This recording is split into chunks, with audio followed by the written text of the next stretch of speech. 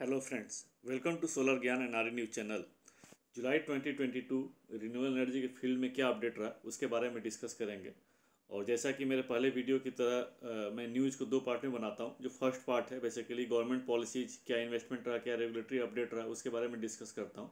जो second part है basically इस पर्टिकुलर मंथ्स में कितने टेंडर्स निकले क्या उनका स्टेटस रहा अ, कितने प्रोजेक्ट्स कमीशनड हुए और क्या उनका जनरेशन रहा उसके बारे में डिस्कस करता हूँ। तो आइए फ़र्स्ट पार्ट के बारे में बारे में, जो कि गवर्नमेंट पॉलिसी इन्वेस्टमेंट और रेगुलेटरी अपडेट्स के बारे में है।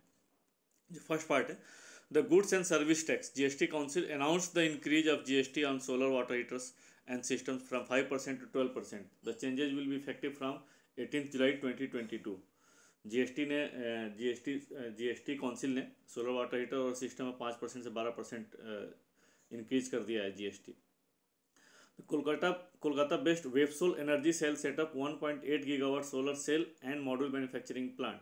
जो वेबसेल है ऑलरेडी इसका सोलर सेल मैन्युफैक्चरिंग प्लांट था कोलकाता में।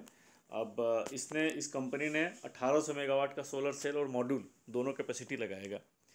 नेक्स्ट है an commission the last phase of 20 megawatt out of 100 megawatt Ramagundam floating solar power projects it is the largest floating solar PV plants in India अभी आप लोगों ने देखा होगा कि बहुत इसमें न्यूज़ आ रही थी और अभी recently prime minister Shri Modi ji ने इसका उद्घाटन भी किया है कि टोटल जो कैपेसिटी है रामागुंडम की हंड्रेड मेगावाट हो गया ऑलरेडी एटी मेगावाट पहले ही कमीशन हो गया था, ये लास्ट पार्ट था ट्वेंटी मेगावाट का। तो अब इसकी टोटल कैपेसिटी जो फ्लोटिंग की जो रामागुंडम है, वहाँ पर हंड्रेड मेगावाट हो गया है। और ये अब तक का इंडिया का सबसे बड़ा फ्लोटिंग सोलर पावर प्रोजेक्ट्स है। नेक्स्ट है जे एस डब्ल्यू स्टील जो है टेन थाउज़ेंड करोड़ इन्वेस्ट करेगा अपने कार्बन एमिशन को इन एमिशन को रिड्यूस करने के लिए। और इसमें जो मेजर कंपोनेंट है, उसमें रिन्यूएबल एनर्जी का भी कंपोनेंट है। और इसके हिसाब से जो है 958 मेगावाट का रिन्यूएबल एनर्जी कैपेसिटी भी लगाएगा। ऑलरेडी ऑलरेडी मैं आपको ये भी कर दूँ कि जे एस डब्ल्यू ऑलरेडी जो है रिन्यूएबल एनर्जी के फ़ील्ड में इंटर कर चुका है और सोलर और विंड कैपेसिटी दोनों लगा रहा है ये। अगर हम लोग बात करते हैं नेक्स्ट जो है, अगर हम लोग बात करते हैं डिस्कॉम कितना आर ई जनरेटर्स का ड्यू रखा हुआ है तो मिनिस्ट्री ऑफ़ पावर एक डेटा अपडेट करता है, एज पर जो प्राप्ति पोर्टल के नाम से फ़ेमस है। तो जो प्राप्ति पोर्टल के अगर डेटा को हम लोग कंसीडर करते हैं तो उस हिसाब से ट्वेंटी थाउज़ेंड करोड़ के आसपास जो है रिन्यूएबल एनर्जी का जो ड्यूज है डिस्कॉम्स के ऊपर। और ये जो डेटा है बेसिकली एंड ऑफ़ जून 2022 है। और ये बेसिकली मई 2022 वाले फिगर से दो परसेंट कम है स्लाइटली बहुत कम है। नेक्स्ट है N T P C renewable energy limited ये basically N T P C की हंड्रेड परसेंट सब्सिडरी कंपनी है, जो कि रिन्यूएबल एनर्जी के लिए बनाई गई है।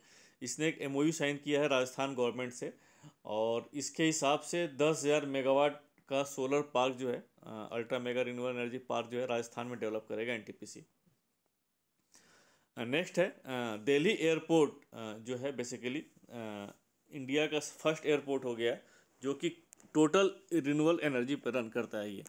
और आज की डेट में अगर हम लोग एनर्जी की बात करते हैं तो मेनली जो इसमें आता है सोलर विंड हाइड्रो और बायो आता है।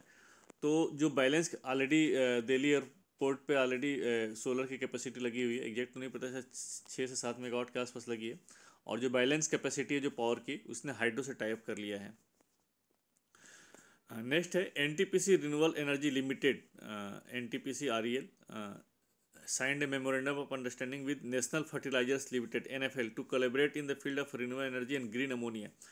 आज की डेट में अगर हम लोग बात करते हैं तो गवर्नमेंट जो है ग्रीन हाइड्रोजन और ग्रीन अमोनिया पर बहुत फोकस कर रही है और ग्रीन हाइड्रोजन ग्रीन अमोनिया का मेन पर्पज़ ये है कि जो अगर हम लोग हाइड्रोजन का जनरेशन करते हैं यूजिंग रिन्यूएबल एनर्जी या अमोनिया का जनरेशन करते हैं using renewable energy that is known as a green hydrogen और ग्रीन अमोनिया तो एन रिन्यूएबल एनर्जी ने नेशनल फर्टिलाइज़र लिमिटेड से जो एम साइन किया, उसके हिसाब से जो है ये ये जो फर्म है, जो जॉइंट वेंचर फर्म जो बनाएँगे, इसमें एक तो 90 megawatt round the clock renewable power supply करेगा, जो कि फेजेज में देगा। 30 मेगावाट जो है फ़ेज़ वन में 60 मेगावाट फ़ेज़ टू में उसके बाद 50 tons per day green ammonia को सिंथेसाइज किया जाएगा कैप्टिव यूज़ के लिए।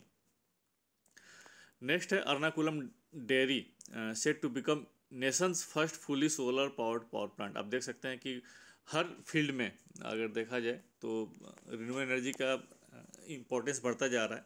और आप इसका एक जीता जाता एग्ज़ाम्पल ये अर्नाकुलम एर्नाकुलम डेयरी जो है, आप देख सकते हैं इसमें। टोटली सोलर पावर पे ही ये ऑपरेट कर रहा है ये। नेक्स्ट है N T P C renewable energy limited N T P C R L signed M M U with Gujarat alkalies and chemicals limited to collaborate in setting of India's first commercial scale green ammonia and green methanol projects आप देख सकते हैं N T P C कितना aggressively काम कर रही है और बहुत सारे जो पी हैं स्टेट्स के पी हों या सेंट्रल गवर्नमेंट के पी हैं, उनसे एम के थ्रू जो इस पर्टिकुलर फ़ील्ड में है, उनके लिए पावर सप्लाई हो या ग्रीन अमोनिया ग्रीन हाइड्रोजन के बाद इस पर्टिकुलर फील्ड्स में काफ़ी टाइप कर रहा है। N T P C plans to raise five thousand crore by selling a stake in newly created green green energy arms it has engage S B I capital market to advise on the sale process ReNew has successfully refinanced twenty four maturity dollar dominated denominated bonds with amortizing projects debt from the Indian non-bank financial company. becoming the first Indian renewable energy company to do so. Next है एक U B S research firm है US based उसने ये estimate किया कि अगर India को twenty seventy तक नेट ज़ीरो का टारगेट अगर अचीव करना है तो टोटल जो है ट्वेंटी ट्रिलियन डॉलर का उसको एक्सपेंडिचर करना पड़ेगा ट्वेंटी ट्रिलियन डॉलर ये काफ़ी ह्यूज अमाउंट है, काफ़ी बड़ा अमाउंट है क्योंकि आज की डेट में हम लोग five trillion five trillion economy की हम लोग बात करते हैं कि हम लोग पाँच साल में five trillion econo five trillion economy हम लोग अचीव करने के लिए गवर्नमेंट बहुत ज़्यादा एग्रेसिवली काम भी कर रही है। उस हिसाब से अगर हम लोग कंपेयर करते हैं तो ट्वेंटी ट्रिलियन डॉलर बहुत ही अमाउंट है। तो जो रिसर्च फर्म है, उसने ये एक इस्टीमेट किया है कि नेट ज़ीरो का टारगेट अचीव करने के लिए इतना कम से कम एक्सपेंडिचर या इन्वेस्टमेंट चाहिए।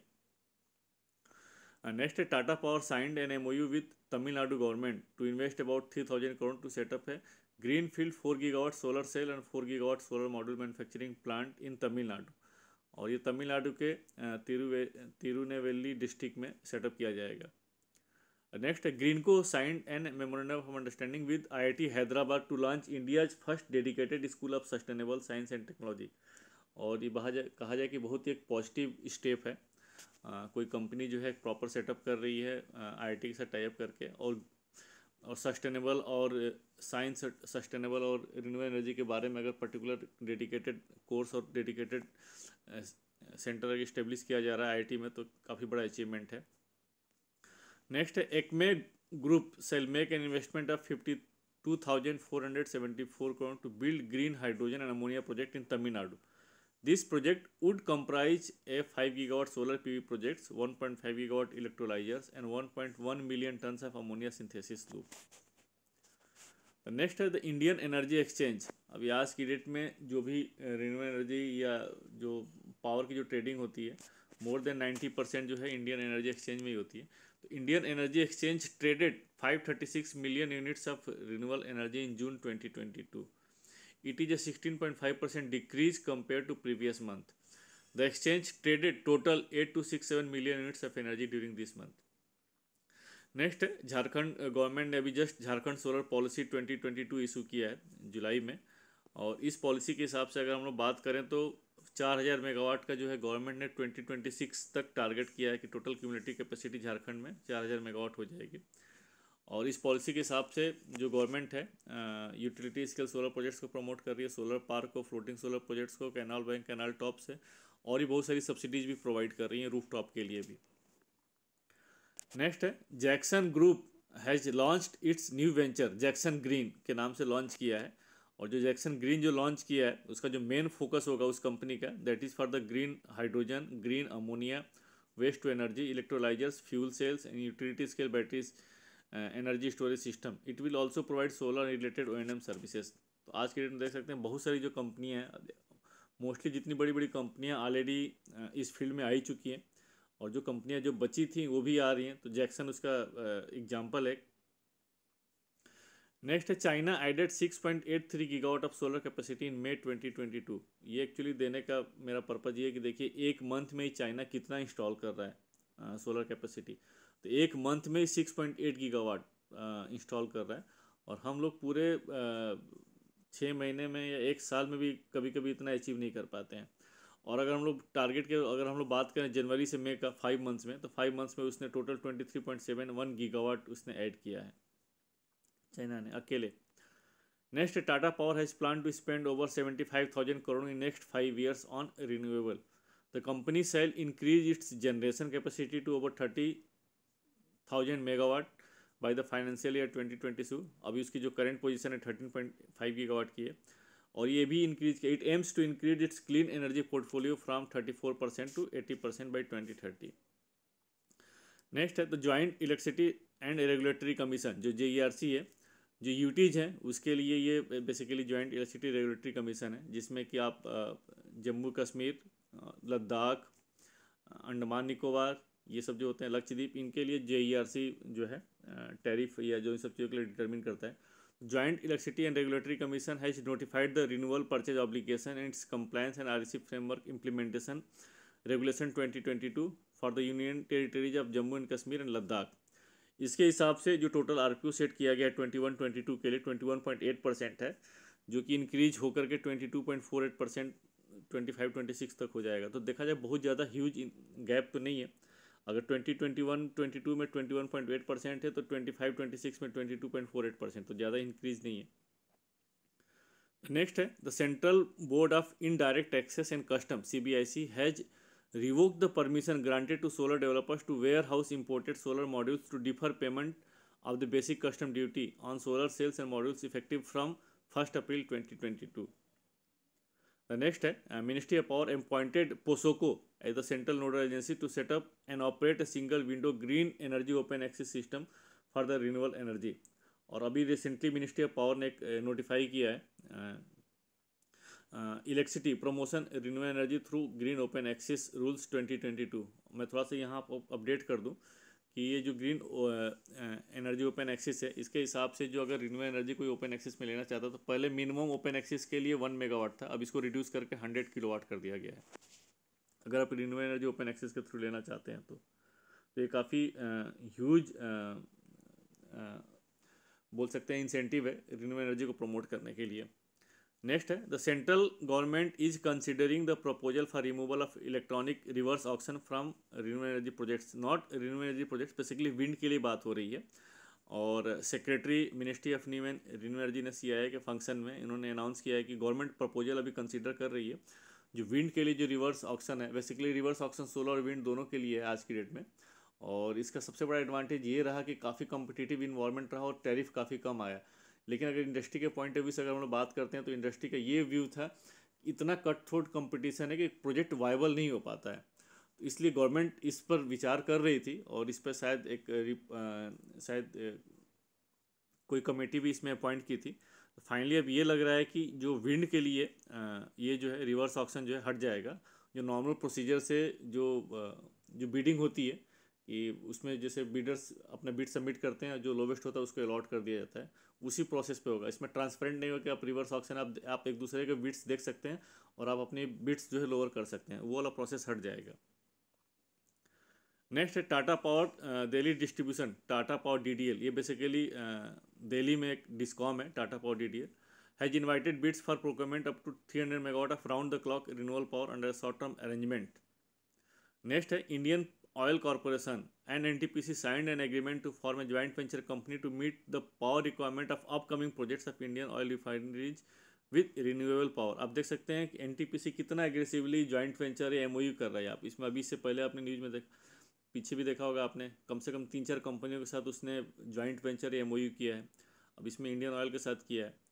नेक्स्ट है the Haryana electricity regulatory commission allowed Haryana power purchase centre to procure 150 fifty megawatt of renewal power with a guaranteed peak power supply from the SECI basically मैं आपको अपडेट कर दूँ सेकी ने एक tender निकाला था, जिसमें यह था कि आप जो जो पीकिंग आवर्स में उसके लिए कोट करना था, जो ऑफ़ पीक आवर्स उसके लिए ऑलरेडी टैरिफ फिक्स था।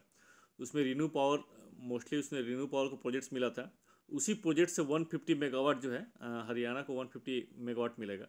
और अगर हम लेवलाइज टैरिफ की बात करें पीकिंग आवर्स और नॉन पीकिंग आवर्स दोनों को मिला के बात करें तो लेवलाइज वेटेज टैरिफ है basically three point nine six per unit है। जिसमें ऑफ़ पीक है, अगर ऑफ़ पीक उसमें क्लियरली डिफाइन किया गया था पीकिंग आवर्स क्या है मॉर्निंग और इवनिंग के टाइम्स को डिफाइन किया गया था। तो जो ऑफ़ पीक टैरिफ है two point eight eight per unit ये फिक्स था। और जो पीकिंग आवर्स था, उसके लिए उस पर कोट करना था। तो जो पीक टैरिफ जो निकल के आया था सिक्स पॉइंट एट फाइव पर यूनिट था। और इसमें सेकी का ट्रेडिंग मार्जिन भी सात पैसा पर यूनिट है। Next, NHPC Limited signed a MOU with uh, DVC to explore the formation of a joint venture company to explore setting up hydropower and pump storage projects. Next, the Telangana State Electricity Regulatory Commission has approved power usage agreement between Telangana Distribution Company and NTPC for the purpose of one purchase of 1692 megawatt of solar power from NTPC interstate uh, transmission connected solar power projects under the CPSU scheme program phase two. Basically ministry of new and renew energy government of India की एक scheme है? C P S U phase two उस उस scheme में उसमें केवल government कंपनियाँ ही participate कर सकती हैं। और आप uh, मेरे इस चैनल पर C P S U scheme पर काफ़ी डिटेल में मैंने एक सेपरेट मतलब इनफैक्ट जो ministry of new and renew energy की जितनी भी सोलर स्कीम्स हैं मैंने सब पर डिटेल में वीडियो बनाया हुआ है। तो आप मेरे चैनल पर जाकर देख सकते हैं। C P S U scheme में काफ़ी डिटेल मैंने वीडियो बनाई है। तो बेसिकली मैं आपको जस्ट समझाने के लिए बता दूँ कि जो सी पी एस स्कीम है, उसमें केवल गवर्नमेंट कंपनी पार्टिसिपेट कर सकती है वीजे पैटर्न पे। उसमें टैरिफ फिक्स होता है, उस टैरिफ को अराइव करने के लिए आपको कितने गैप फंड चाहिए, उसे बिडिंग करनी पड़ती है। और उसमें एक मैंडेटरी ये है कि जो सोलर पैनल यूज़ किए जाएँगे that should be made in India वो एक डोमेस्टिक मैन्युफैक्चरिंग को प्रमोट करने के लिए स्कीम लाई गई थी। तो इस स्कीम में जो एनटीपीसी जो है one six nine two megawatt जो सोलर प्रोजेक्ट डेवलप कर रहा है, उसके लिए तेलंगाना से ऑलरेडी कमीशन ने एग्री कर लिया है। The next Ministry of Power has issued the renewal purchase obligation and energy storage obligation until the financial year 29 20 29 30 और इसमें अभी तक जो मिनिस्ट्री ऑफ़ पावर का जो ऑर्डर था जो नोटिफिकेशन था आरपीओ ऑब्लिगेशंस के लिए वो मार्च 2022 तक का ही था इसके बाद ये नया इसने इशू किया है मिनिस्ट्री ऑफ़ पावर ने जबकि 2029 30 तक हो गया है इसमें और इसमें एक नया और इंट्रोड्यूस किया गया that is the energy storage obligation इसमें एक परसेंट से इंक्रीज़ किया गया, आप नेक्स्ट ईयर से एक परसेंट हो जाएगा, और उसमें point five percent point five percent बढ़ता जा रहा है, जो कि ट्वेंटी नाइन थर्टी तक फोर फोर परसेंट तक हो जाएगा। उसमें ये बोला गया है कि जो एनर्जी स्टोरेज है उसमें आपको मिनिमम इतना एनर्जी स्टोर करना पड़ेगा, और उसमें जो स्टोर करेंगे, उसमें minimum eighty five percent renew energy mainly solar और विंड होना चाहिए। नेक्स्ट है the custom authority for advance ruling recently allowed the import of all the components of solar projects at a concessional rate of five percent circumventing the basic custom duty imposition next है O N G C signed M O U with Greenko to pursue opportunity in the renewal green hydrogen green ammonia and other derivative of green hydrogen next है Hindustan power exchange Hindustan power exchange actually recently जो है third exchange regulator ने approve किया था और इसने functioning भी start कर दिया है। तो Hindustan power exchange launch the day head market green day head market and real time market तो होप दोस्तों ये जो जुलाई 2022 का रिन्यू एनर्जी के बारे में जो अपडेट है, आपको सही लगा होगा। अगर आपको सही लगा होगा तो आप मेरे चैनल को लाइक करिए सब्सक्राइब करिए, अपने दोस्तों को भी फॉरवर्ड करिए। फिर मिलते हैं नेक्स्ट वीडियो में, तब तक थैंक यू जय हिंद।